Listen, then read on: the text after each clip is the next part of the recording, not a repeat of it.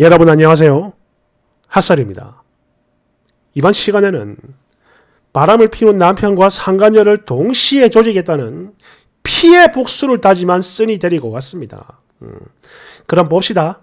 제목 상간녀가 아이를 낳았다면서 지금 당장 이혼을 해달라는 연놈들 아니 미쳤니? 내가 그걸 왜 해줘? 어? 누구 마음대로 내가 니들 평생 피 말려 죽일 거다. 원지 남편에게 혼외자가 있습니다. 여러분 안녕하세요. 저희는 42살, 결혼 9년차, 그리고 아이가 없는 동갑내기 부부입니다. 제목 그대로 지금 이 인간이 저 몰래 바람을 피웠고요. 이번에 그 여자가 아이를 낳았다는데 너무나 당당히 지가 먼저 이 이야기를 꺼내면서 이혼을 요구하기에 어처구니가 없어 이렇게 글 남겨봅니다. 이 그지 같은 것들에게 천벌을 주고 싶으니 꼭 보시고 조언 주세요. 일단 저희들 이야기를 먼저 살짝 해보자면 임신이 안 되더라고요. 30 후반까지 즉 그러니까 지금보다 비교적 젊었을 때 시험관도 해보고 어떻게든 아이 한번 낳아보려고 꾸준한 노력을 해왔지만 번번이 실패를 했고 지금은 뭐 나이도 있으니까 포기를 한 지 좀 됐어요. 그런데 이런 상황에서 남편한테 혼외자가 있다는 겁니다. 심지어 뭐 결혼하기 전에 저 몰래 다른 여자 먼저 만나가지고 뭐 나온 그런 것도 아니고 얼마 전에 태어난 신생아예요. 그리고 이 이야기를 지가 하면서 동시에 이혼을 요구하는 중인데요. 세상에 이보다 더 뻔뻔한 새끼가 또 있을까요? 정말 기가 찹니다. 상간녀가 애도 낳았고 이제 그쪽으로 가야겠으니 내가 돈 줄게. 어? 우리 여기서 갈라서자.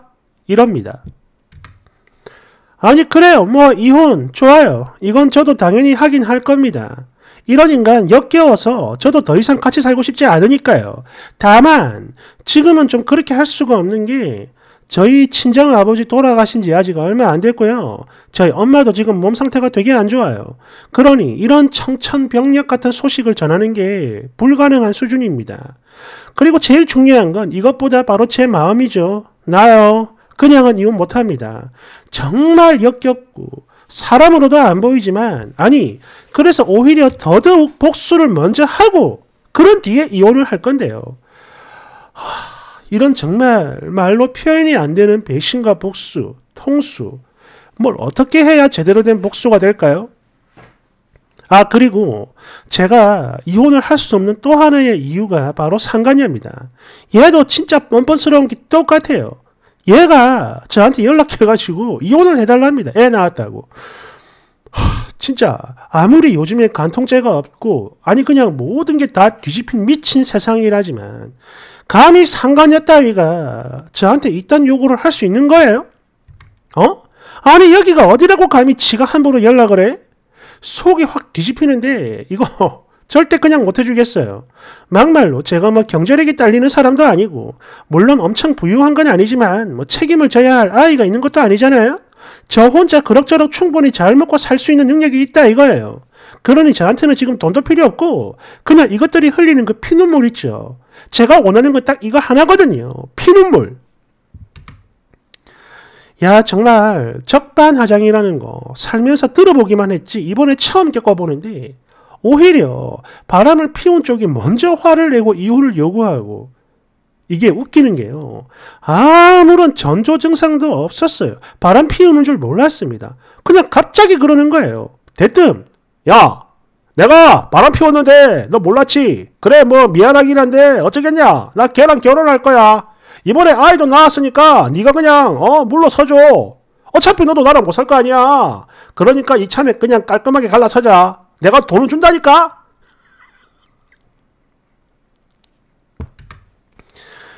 이러고 또 상간녀도 그래요. 꼴에 저보다 직업이랑 학력이 좀 더 좋은 건 사실입니다. 그런 들 들이밀면서 본처인 저를 없인 여기는 모습까지 정말 죽여버리고 싶거든요. 이것들. 물론 뭐 지가 그래봤자 더러운 상간녀일 뿐일 테니지만 말이죠. 여하튼 제 생각은 그래요. 일단 태어난 그 아이가 이 인간의 아이가 아니었으면 좋겠습니다. 그래야 지 도 똑같이 배신당하는 그 기분을 느낄 테니까요. 근데 만약 그게 아니라 정말 친절하면 그리고 제가 이혼을 해준다면 그래서 이것들이 애 키우면 잘 먹고 잘 사는 거 저 죽어도 못 봐요. 아니 그걸 보면은 정말로 머리가 터져 죽어버릴지도 모르겠습니다. 아 물론 다시 말씀드리지만 이혼을 할 거예요. 하긴 할 건데 그 전에 이 두 연놈들 눈에서 피눈물을 있는 대로 다 뽑아버리고 싶거든요. 그래야만 이제 이런 제 마음이 조금이라도 풀릴 것 같은데 여기서 제가 뭘 어떻게 해야 철저하게 박살낼 수 있을까요? 일단 뭐 직장에 알리고 하는 거 이건 당연히 할 건데 이런 거 외에 뭐가 더 있을까요? 나 이거 가지고는 안 되거든요. 정말입니다. 뭐든 다 할 거니까 제발 방법 좀 알려주세요. 인생을 송도리째 조진 이것들 저는 죽어도 용서 못해요. 지옥 끝까지 갈 겁니다. 부탁드려요. 댓글 1번 어, 좀 죄송한 말이긴 한데 여기서 가장 큰 복수는 끝까지 버티며 이혼을 안 해주는 겁니다. 아이 출생신고 아직 못했을 텐데 쓰니가 안 해주면 결국 그 여자한테 할 수밖에 없을 거고 이때부터 피눈물 나는 거죠. 솔직히 써니도 지금 당장 이혼이 급한 건 아니잖아요. 그리고 무엇보다 본인이 복수가 먼저라고 했으니까 아무래도 이게 좋을 것 같아요. 그러니 지들끼리 물고 빨고 난리쳐도 그냥 가만히 냅둬버려요. 나는 그래 네가 그년이랑 딴 살림 차려도 절대 이혼 못해준다. 이렇게 버티면 돼요. 물론 남편이야 그 여자한테 가서 살겠죠. 애도 낳았으니까. 그냥 쓰니는 가볍게 별거를 한다 이렇게 생각을 하세요. 그러면서 님도 남편한테 벗어나 자유롭게 살다가 이혼이 정말 필요할 때 그때 하시면 돼요. 물론 그게 뭐 1년이 될지 10년이 될지 아직은 아무도 모르지만 지금 하는 건 복수도 안 되고 쓰니한테 아무 득도 없어요. 상간녀는 말이죠. 법적으로 영원히 첩으로 사는 거. 이게 바로 가장 큰 복수이자 불행이 아닐까 싶습니다. 대댓글. 그러면서 주기적으로 상간녀 소송 걸어가지고 돈도 뽑으세요. 금융치료와 피눈물을 동시에 뽑는 겁니다. 아래 위로 쫙쫙. 2번 얼써 물론 그 상간녀한테 아이가 없다면 또 모르겠는데 있으면 이게 최고죠. 본처가 버티면 이혼 안 해주는 거 이거 제가 실제로 봤는데요. 상간녀들 진짜 미쳐버리려고 하고 죽으려고 하더라고. 특히 아이가 커서 학교 갈 때쯤 되면 진짜 똥줄 터지더라고. 그냥 미혼모 자식으로 만들어버리는 게 최고의 복수예요. 3번. 그렇지. 홍콩 마누라도 진짜 이악 물고 버티면서 끝까지 이혼 안 해줘가지고 김꽁꽁을 처음으로 만들어버렸잖아요. 거기다 배우 커리어도 완전히 다 박살내버렸고. 맞습니다. 쓰니도 그냥 이혼 안 하는 게 최고예요. 남편이 이혼해달라고 애걸복걸 하면 뭐 아파트 오지게 좋은 거 있잖아. 비싼 거 한 10억 하는 거. 그거 한 채 님 명의로 완전히 돌려주고 뭐 하라고 하든가. 그 정도도 못 해주겠다면 그냥 가만히 버티면 됩니다. 네가 이겨요. 물론 쉽진 않겠지만. 근데 말이지 바람을 한 번 피운 놈이 두 번이라고 못 피울까? 야, 그 여자도 참 불쌍하다. 이런 놈 애까지 낳고 깔깔깔깔. 4번. 상간녀 소송 주기적으로 걸고 이혼 안 하면 돼요. 아니 미쳤어요? 누구 좋으라고 이혼을 해? 해주지 마. 5번. 말이야 쉽지. 그렇게 하면 남자가 가만히 있을 것 같아? 어? 아니 지 가진 놈이 가만히 안 있으면 뭐 어쩔 건데 지가 유책이라 이혼 요구도 못하는데 지가 뭘 할 수 있는데 혹시 너냐? 해봐 2번 이혼을 안 해주는 게 최고라는 말이 지금 많은데 맞는 것 같아요. 특히 태어난 그 아이가 점점 크면 클수록 이혼 안 해주는 님한테 빌고 막 비굴해질 거라고요. 힘들어도 버티세요. 아내인 쓰니가 이혼 안 해주면 이거 하나만으로도 천벌을 대신할 수 있는 겁니다. 3번 버티면서 상간녀 소송을 주기적으로 걸어주세요. 내 댓글 배우자의 외도를 알고 3년 안에 가능하고요. 기한이 중요한데 아무튼 소송하고 판결 뜨면 그 이후로도 또 둘이 만났다 이런 증거만 확보하면 언제든 또 걸 수 있어요. 저도 이걸 들어봐서 아는데 정확한 건 아니지만 이게 한 번 소송해가지고 먹고 나면은 2년인가 어, 2년인가 뒤에 또 걸 수 있다고 합니다. 근데 이것도 횟수가 정해져 있대요. 확실하진 않은데 제가 알기로는 3번까지 가능한 걸로 알고 있습니다. 음. 4번 아니 지가 유책인데 감히 이혼 요구를 한다고요? 보니까 겁이 나니까 되레 지가 더 큰 소리 치는 것 같은데 절대 해주지 마요. 특히 이미 애까지 낳은 상황이면 절대로 이혼시키게 해주면 안 됩니다. 그리고 증거도 이미 차고 넘치겠다. 일단 뭐 소송부터 걸어보세요. 분명히 말씀드리지만 지금 여기서 쫄리고 급한 것들은 쓰니가 아니라 바로 저것들입니다. 그래도 뭐 정이혼을 해야겠다. 그럼 모든 재산, 명의 전부 다 쓰니 앞으로 돌리면 그때 해주겠다라고 해보세요. 5번 S공 상간녀가 계속 상간녀인 이유가 뭐겠습니까? 노꽁꽁씨가 호락호락 이혼을 안 해주니까 그런 겁니다. 6번 그냥 둘이 살아라 이러고 자리만 비켜주면서 이혼은 절대 해주지 말고 끝까지 버텨봐요. 그럼 아기는 그 여자 호적에 올라서 미혼모가 되든지 그게 아니라 만약 쓰니네 호적에 올리더라 하더라도 지 새끼가 아니야. 남편과 쓰니의 아기가 되는 거니까요. 이거 하나만으로도 파멸이죠. 피말리게 할 수 있습니다.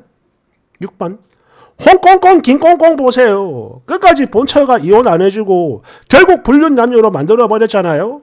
그런데 여기서 그 본처 욕하는 사람 한 명이라도 봤습니까? 없어요. 장인어른 돌아가신 지 얼마 안 됐는데 신생아가 나왔다고? 허 참 인간 말종이네 진짜. 아? 여하튼 그 아이가 성인이 될 때까지 절대 해주지 말고 주기적으로 상간녀 소송 걸면서 용돈이나 보세요. 마음 단단히 먹어야 됩니다. 지금 급한 건 저것들이지 절대로 쓰니가 아니다 이거지. 같지 않게 감히 어디서 큰 소리야 이것들이. 어? 9번 맞아요. 진정한 복수는 이혼 안 해주고 버티는 게 맞습니다. 예전에 비슷한 글을 상간녀가 올리는 거 봤는데요. 본처가 이혼 안 하고 버티니까 결국 애한테 문제가 생기더라고. 그 아이가 뭐 병원에 갈 때도 그렇고 뭐 학교를 갈 때도 그렇고 아니 어딜 가도 문제가 돼. 그러다 보니까 남자하고도 계속 싸우고 사이 개박살 나버렸고 피가 하루하루 마르는데 그런 와중에 본처가 소송도 계속 거니까 진짜 죽으려 하더라고. 아 이거 제가 올린 것 같은데 이거 10번 상간녀가 애까지 낳았으면 쓰니는 그야말로 슈퍼갑입니다. 당연히 안 하고 버텨야죠. 이혼 조건으로 모든 재산을 내놓거나 그게 아니면 이혼 없다고 하세요. 그래야만 진짜 복수가 되는 겁니다. 11번 평생 법적인 남편 없이 그리고 아빠 없이 그렇게 살라고 하세요. 아니 왜 애한테 하풀이야? 애가 문제가 있다고. 하풀이를 하는 게 아니라 부모 업보를 자식이 받는 거지. 이러니까 남의 눈에 눈물 나게 하면 안 된다라는 말이 나오는 거라고. 지한테 아빠가 없는 게 자기 애미 애비 때문이라는 걸 아이도 알아야죠. 그렇게 자식한테 평생 원망받으며 살아야지. 그게 천벌이야. 다른 거 없어. 사실 그렇습니다. 어, 여기 많은 거의 대부분의 댓글이 이혼해주지 말고 버텨라. 그게 최고의 복수다라고 하는데 솔직히 저도 여기에 동의는 합니다만 중요한 건 이걸 시행하는 본인이 참 힘들어요. 근데 또 그런 말이 있거든. 상대를 지옥으로 끌고 가려면 나도 지옥에 들어가야 돼. 어. 똥물 한 방울 안 튀기고 상대방을 똥통에 처박아 넣을 수는 없는 거거든요. 어. 그래서 내가 좀 손해를 보더라도 내가 힘들더라도 그거보다 니들 망하는 걸 봐야겠다. 그러면 끝까지 복수하는 거고. 그게 아니다. 그래. 나는 내 인생을 살아야겠다. 이러면은 뭐 재산 전부 다 달라고 한다든지 그런 정도로 합의를 하는 게 어떨까 하는 뭐 그런 생각이 듭니다. 음. 뭐가 됐든 지금 이 쓰니가 갑이라는 게 이제 중요한 거죠. 어, 지금 남편이랑 저것들이 큰 소리 치는 거는 원래 그렇잖아요. 방구 낀 놈들이 오히려 큰 소리 치잖아. 어, 또 지가 잘못해 놓으니까 그걸 덮으려고 오히려 이제 아, 이렇게 막 그것도 일종의 가스라이팅이거든. 음. 아무튼 이 사연이 진짜라면 쓰니가 슈퍼갑이라는 걸 절대 잊지 않고 그걸로 무기를 삼아 휘둘러 버렸으면 좋겠어요. 화이팅! 감사합니다. Hmm?